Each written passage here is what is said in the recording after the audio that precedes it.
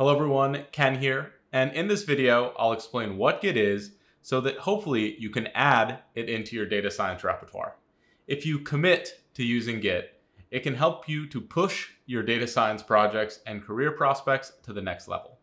I'll start with an overview and then go through a process walkthrough.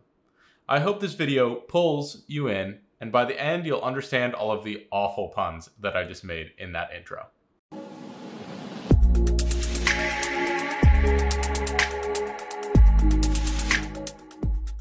So what is Git?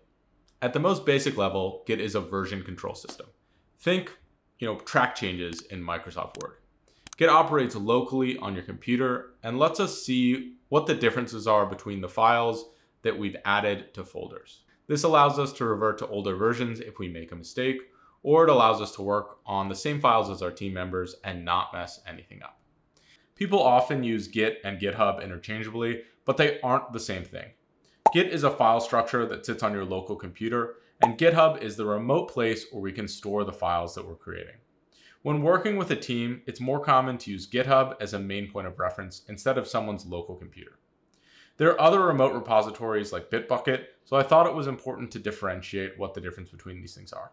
Now, why is Git or GitHub important? Version control is extremely relevant when working on large-scale projects, especially if you're dealing with a team. For individual work, Git is nice because you can make changes or adjustments to code without worrying about breaking anything. You can always revert back or just create a new branch to work on that's independent of the main system.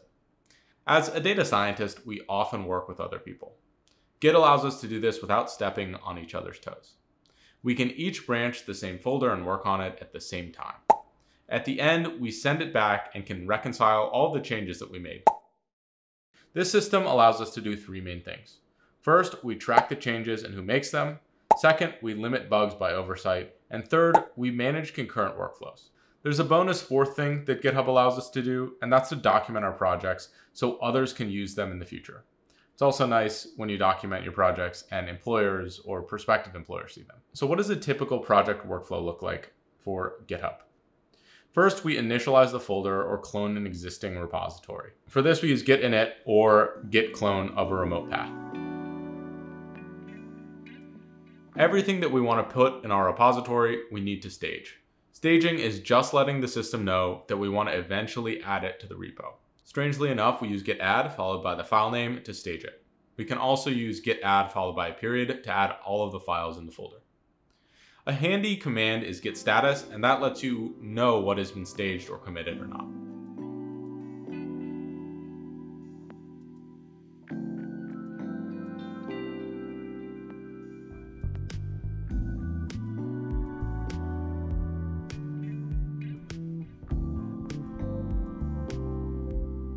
To update our local repository, we do git commit. This updates the repo with the changes that we'd stage we usually do git commit dash m and then use a message saying what we changed. That's just good practice.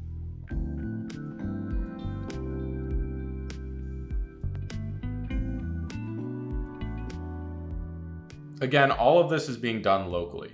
If you want to upload things to GitHub, you need to do some additional steps. In this case, we usually need to push the changes that we've made. This is as simple as doing git push. You'll often get some errors, so just follow along with what the errors say and you'll be able to work your way out of it. You might have to set a remote origin or, or do something along those lines, but reading the error messages here is usually really helpful.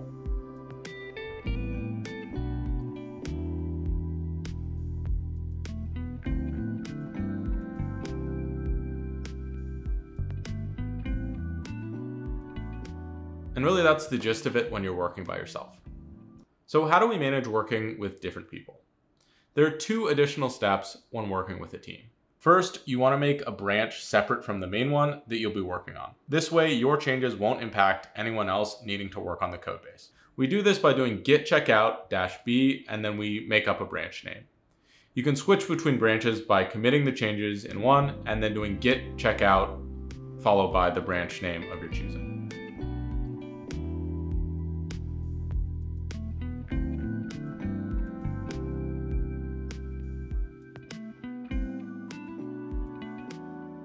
You do the same process of doing git add, git commit, and, and including a message, and then pushing the changes. Once you've made these changes, you want to merge them back into the main branch.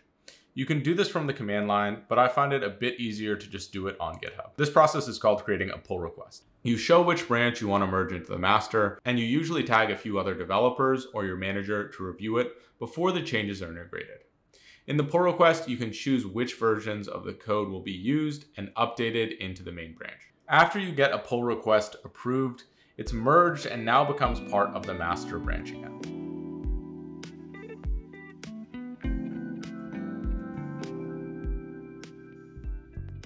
Git and GitHub are so much larger than just this simple walkthrough that I'm talking about, but still I think it's important to understand at a high level what's going on and why it's useful.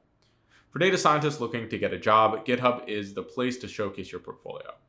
I've done quite a few project reviews, and I recommend documenting your READMEs well in work and in your personal projects. I also use GitHub for my Project from Scratch series, so you can see what it looks like in practice there as well.